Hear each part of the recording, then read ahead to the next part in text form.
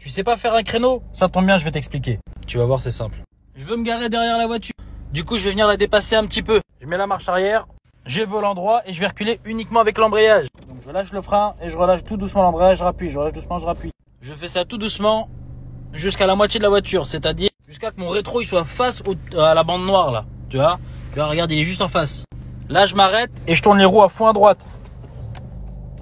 Et c'est parti, sans bouger le volant, du coup il est à fond à droite. Je recule tout doucement. Jusqu'à que mon rétro là, il soit à peu près au niveau du feu. Tu vois ce feu là Donc tu vois, je suis à peu près... Là, si je me mets comme ça, t'as l'impression que je suis un peu en face. Une fois que je suis en face du feu, une fois que je suis en face du feu, je vais finir faire deux tours de volant. Voilà. Donc là, j'ai les roues qui sont droites, on est d'accord. Je suis toujours en face du feu. Toujours en marche arrière. Je vais venir reculer en ligne droite. J'ai baissé un petit peu le rétro pour que tu vois à peu près où j'en suis, au niveau du trottoir. Maintenant, t'as plus qu'à tourner les roues à fond à gauche. Et reculer tout doucement. Et tu vas te garer.